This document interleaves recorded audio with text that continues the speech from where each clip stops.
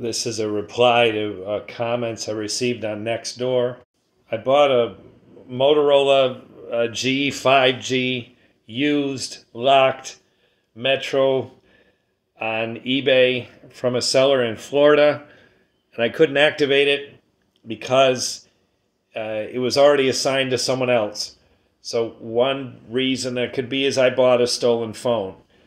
I wrote about it in a series of posts. It is now resolved. The seller was legit, and um, Metro just had to release the phone. And in the typical one person deals with big corporation, there was uh, a really significant delay in activating it. But it is now activated.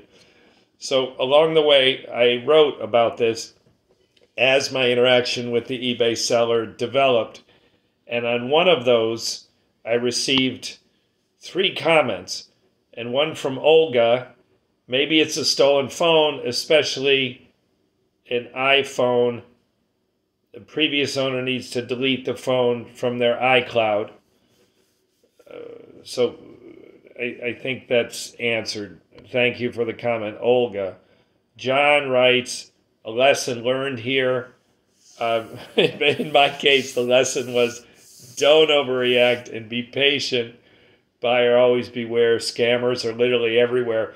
So if I did learn anything, it was if I had written negative feedback on this Florida seller, sometimes uh, sellers are hypersensitive to negative feedback. If I had accused him of, of selling a stolen phone, it would have been the wrong thing to do. Now, during the trial, that Trump is now guilty on 34 counts of fraudulent business records in the purveyance of a crime. Uh, prior to the conviction, I wrote I, I wrote about the trial several times. One time, I attracted a comment from Keith. So Keith asked why why I write EYE instead of the letter I Keith, it's pure laziness and uh, just the way people don't hit shift and the letter I to do a capital I, they do a lowercase. For me, that's for me the lower the tap and the tap is that's two taps. That's um, more work for me because I swipe. And if you're not familiar with swiping, um, Google on uh, Gboard, a lot of the keyboards have it now. I, I, uh, and so EYE swipes very nice. So number one, laziness. Number two, EYE over the letter I because the double laziness combined with swiping.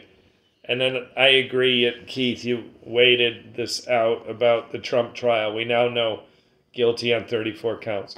And then uh, during my travel return from Japan, I wrote about uh, trouble with United it had to do with my name on my reservation, not a perfect match with my passport. So I had to contact United before I could get my boarding pass in Newark on my outbound. And uh, Deverjan, Day, Deverjan, also on what's also on Nextdoor commented and with the customer service number for for United. I, I think in that occasion I was able to resolve it by a chat.